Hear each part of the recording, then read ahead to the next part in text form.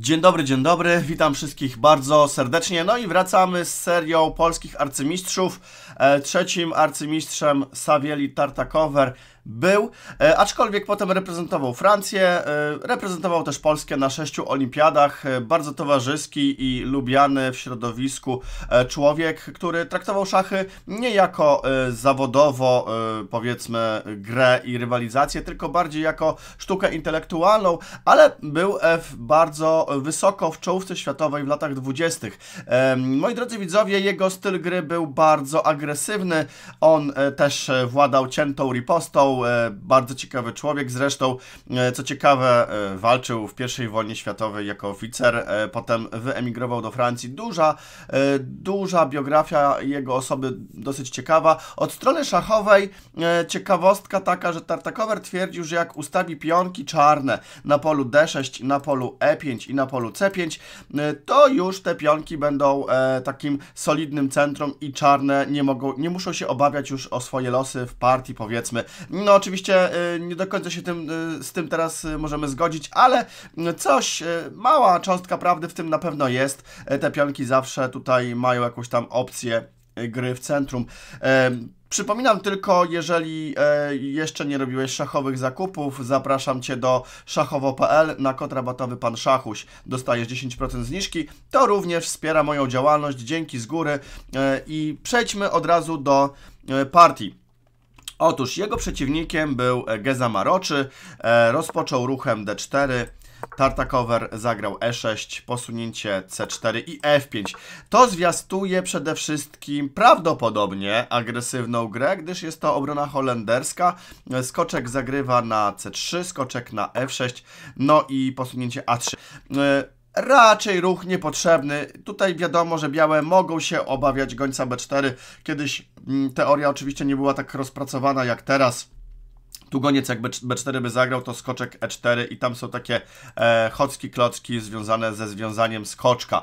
Goniec jednak spokojnie na E7, E3. No i tutaj e, ten ruch mi się nie podoba z uwagi na to, że zamykamy gońca, ale tak też można grać. E, tutaj roszada ze strony czarnych goniec D3 i posunięcie D5, czyli do centrum, skoczek F3 i C6. Czy ten układ coś e, nam może przypominać? Oczywiście jest to kamienna ściana. E, mamy zwolenników e, w naszym kraju, którzy grają kamienną ścianę. Pozdrawiamy Kacpra Poloka z tego miejsca. E, Kacper bardzo lubi grać o, e, kamienną ścianę. E, osobiście uważam, że nie jest to najlepszy debiut e, do takiego rozwoju szachowego, ale debiuty są różne, można grać pewnie wiele, wiele rzeczy, kto komu co pasuje. Posunięcie roszada ze strony białych. No i teraz bardzo proste posunięcie skoczek E4. Zwróćmy uwagę, że Czarne od razu wyprowadzają tutaj skoczka sobie do centrum, e, no i ten skoczek tutaj stoi jak król, można by było powiedzieć. No i jeżeli będzie jakiekolwiek bicie, no to odbijamy pionkiem z F i czarne są świetne z uwagi na to, że wieża jeszcze jest otwarta. Głównie tutaj chodzi o to, że Tartakower będzie chciał atakować w tej sytuacji. Hetman C2 i goniec D6. I teraz też te dwie figury, goniec i skoczek, ruszyły dwa razy w debiucie, e, a jeszcze te figury zostały w miejscu. No ale to jest taka charakterystyka w tym debiucie, że goniec już spogląda sobie na pionka H2. E, B3 ze strony mm, białych. Tutaj bardziej agresywne zagranie B4. Trzeba próbować po skrzydle coś działać, no ale poszło B3. Skoczek D7 Przypilnuję tutaj zawsze pola E5 troszeczkę, goniec B2, e, no i wieża F6. To są jasne zamiary, to jest jasny sygnał ataku. Wieża dobrze się tutaj będzie czuła na polu H6 i będzie celowała w pionka H2. E, no właśnie, e, jak się przed tym uchronić? Tutaj białe zagrały wieżą na E1. No niestety nie jest to najlepsze posunięcie białych. Ta wieża e, nie spełnia tutaj jakiejkolwiek roli takiej słusznej, że tak się wyrażę. Ruch bez sensu. E, tutaj trzeba było się zatroszczyć o to właśnie, że jak wieża zagra i goniec będzie celował, to jakoś trzeba było przeciwdziałać. No i takim na przykład ruchem byłoby zagranie skoczek E2. Dlaczego? Dlatego, że jak wieża na przykład idzie na H6, to wskakujemy skoczkiem na E5. Chodziło o to, żeby goniec był tutaj swobodny i pilnował pola E5. No właśnie, teraz te dwie figury są nieco przyblokowane. W tej sytuacji na przykład e, hetman C7, no to zagralibyśmy F4 białymi.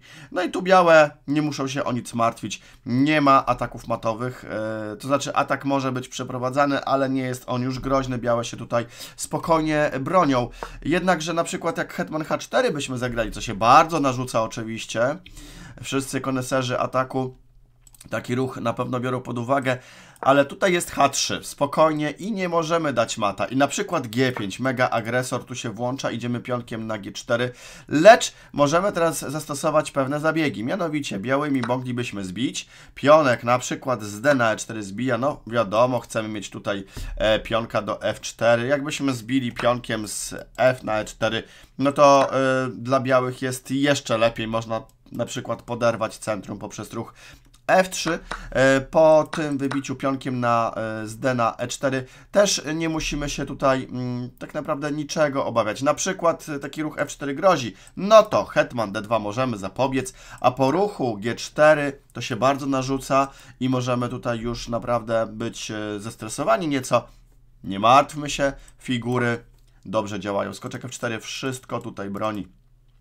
Wizualnie to wygląda źle i można naprawdę się e, troszeczkę zestresować, ale wierzcie mi, że tu jest pozycja w tym momencie białymi opanowana. Skoczki weszły w centrum i e, pięknie tutaj działają. No ale w partii tak nie poszło. Wieża zagrała na E1 i największą sztuką w szachach jest teraz wykorzystać błędy przeciwnika. Tartakower zagrywa wieża H6. Posunięcie G3 od razu nie tutaj nie wpuszcza, asekuruje powiedzmy troszeczkę obronę. Hetman zagrywa na F6 mimo wszystko. Goniec F1, tutaj białe przybierają e, obronny charakter i teraz G5. No ruch, który zagrać po prostu trzeba. Wieża AD1 i no ten ruch też w zasadzie nie wnosi nic. Zwróćcie uwagę, że tutaj dwie wieże nie są na wolnych liniach, one celują w pionki swoje, które i tak są przyblokowane, więc no, niefortunne posunięcia białych tymi wieżami, uważam. E, I tutaj G4 ze strony czarnych e, i no, jak skoczek na H4, to wiecie, tu grożą bicia i są, e, jest w zasadzie pozamiatane, więc e, wtrącenie, skoczek na E4, pionek zbił na E4. Należało skoczkiem jednak tutaj zagrać na E5 i spróbować trochę wymienić i otworzyć przede wszystkim wieżę. No spróbować trzeba coś takiego grać. Jednakże skoczek D2, bardzo pasywnie zresztą. E, I teraz zaczynają się piękne no szachy bym powiedział, chciałem podpowiedzieć święcenia, ale tak, tutaj są już e, fajne kombinacje. Jak e, zagrał Tartakower w pierwszym posunięciu, e, to znaczy w 17, ale atakuje. Otóż wieża bije na H2. Tak, to jest ten ruch, który e, przede wszystkim przechodzi do fajnej ofensywy, ale to jest takie bicie nie jest aż tak trudne, mimo że nie widać tutaj do końca mata, ale zwróćmy uwagę, goniec, hetman, to się musi udać. Król zbija na H2, hetman bije na F2. No i jak goniec, no to tutaj wiadomo, grożą już maty w zasadzie. Król zagrywa na H1 e, i bardzo sprytne zagranie czarnymi. Tu muszę e, naprawdę zrobić wielki ukłon w stronę e, Tartakowera, dlatego że on nie zbił pionka od razu i nie zagroził matem. E, dlaczego to by było trochę gorsze? To znaczy, czarnymi tak stoimy świetnie, ale to by było nieco gorsze z uwagi na skoczek E4. Oddanie figury przez białe troszeczkę daje im możliwości, bo po wybiciu jest hetman G2 i się wszystko u białych póki co broni. A tak e, wygląda troszeczkę gorzej, trudniej e, bo jeszcze jakieś tutaj kontry pod tytułem D5 grożą. Więc Tartakower, jak prawdziwy mistrz, skoczek F6. Ruch bardzo przyjemny z pożytecznym z uwagi na to, że bronimy bardziej pola E4 i jeszcze mamy opcję goniec D7 i wprowadzenie wieży do ataku. No to jest bardzo potrzebne czarnym. Tej sytuacji wieża zagrała na E2, hetman zbił pionka i skoczek B1. No pewnie tutaj coś białe chciałyby mocniej bronić, ale widzimy skoczek no dalej stoi po prostu pasywnie, goniec również. E, I teraz e, skoczek zagrywa na H5. Proste zagranie. Chcemy skoczka wprowadzić ewentualnie na G3. E, tutaj hetman D2, jakieś opcje, próba wymiana, wymiany hetmanów. Goniec na D7. Hetman E1, no jasne, można by było pewnie zagrać i należałoby, ale jest taki ruch hetman F3, skoczek wchodzi z tempem. No tutaj dzieją się cuda, trzeba po prostu bardzo, bardzo dobrze liczyć w, no, i w ataku, ale w obronie przede wszystkim. Wieża F2 jednak nastąpiło. No i hetman dał szacha, król G3. No i teraz uważam, że Tartakower e, zagrał taką niedokładność. E, niedokładność polega na tym, że goniec zagrał na G3. Nadal czarnymi stoimy świetnie, żeby była jasność, ale w tej sytuacji zdecydowanie lepszym ruchem byłoby G3.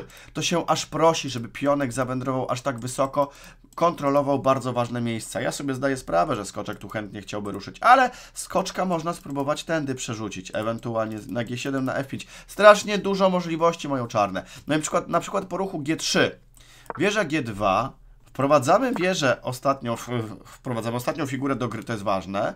Goniec na przykład na C3, no bo tam jakieś przegrupowanie figur, nie widzę jakichś tam super posunięć tutaj mm, białymi, żeby się bronić. I tutaj wieża F6 z pięknym planem wieża H6. Moglibyśmy już tam potem dawać konkretne e, ruchy w stronę przeciwnika. No ale goniec jednak zagrał na G3. I w tej sytuacji goniec e, mimo wszystko na C3 e, sobie ruszył. Tutaj białe oczywiście sobie mogą pozwolić na stratę wieży z uwagi na to, że mają wieżę więcej w tym momencie, więc no, goniec wybił, hetman wybił i teraz jest ruch G3, czyli Tartakower sobie przeliczył, że w tym układzie chce sobie działać bez e, tej wieży F2. No dobra, jak sobie tak zaplanował, tak zagrał. Hetman G2 i wieża F8. Nareszcie, aż się prosiło, żeby ta wieża weszła. I zobaczcie, że ten goniec C3 ma swoją słuszność, bo zagrywa na E1, no i broni bardzo ważnego newralgicznego punktu F2. E, no w tej sytuacji, no właśnie, co zagrać w tej sytuacji, żeby robić progres? E, tutaj e, nasz zawodnik, powiedzmy w ten sposób, mega agresor, nie wytrzymuje, zagrywa bardzo ciekawe posunięcie, ale zwróćmy uwagę, jak można by było grać. Na przykład Hetman G5. Spokojny ruch, który pozwala po prostu, no, inaczej atakować. Na przykład, e, powiedzmy, no nie wiem, tutaj goniec D2 jest podpowiadany przez silnik znowu. No można by było zagrać wieża F2, Hetman tutaj na H1 i na przykład wieża D2. Zobaczcie, że e, Hetman chce tego pionka po prostu e, za chwilę zbić. Więc e, no tutaj chodzi o to głównie Hetmanem, że ten Hetman chce tego pionka zwyczajnie zbić, potem może wieża F4, wieża H4 i tak dalej. No ale w partii, w partii jednak wieża zbiła na F1.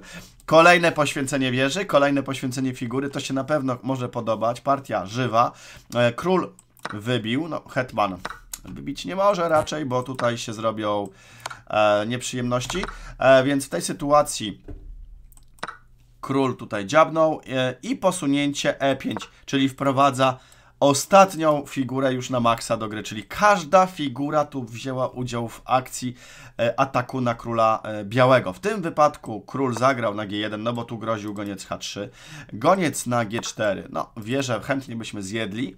E, no i tutaj białe już trochę w rozpaczy tak naprawdę, bo nie wiadomo co grać. Grozi goniec F3 również i tu są opcje zbicia hetmana albo mata na H1. No więc goniec zbił teraz na G3, skoczek zbił na G3.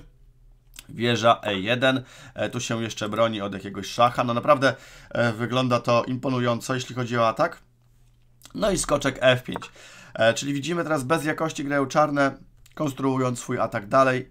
Hetman zagrał na F2, Hetman G5. No i tak wydaje się, że białe się wykaraskały, bo czarne figury się cofają. To może być złudne oczywiście. Pionek wybił. Na E5 goniec dał szacha, król F1 i po skoczku G3 białe się poddały. E, dlaczego? Dlatego, że jak na przykład król G1 to skoczek H1, król F1, skoczek zbija na F2 i tak dalej. Wiadomo o co chodzi. No cóż, e, myślę, że piękna partia e, Sewelego Tartakowera. Dzięki serdeczne za uwagę i widzimy się w kolejnym odcinku. Do zobaczenia.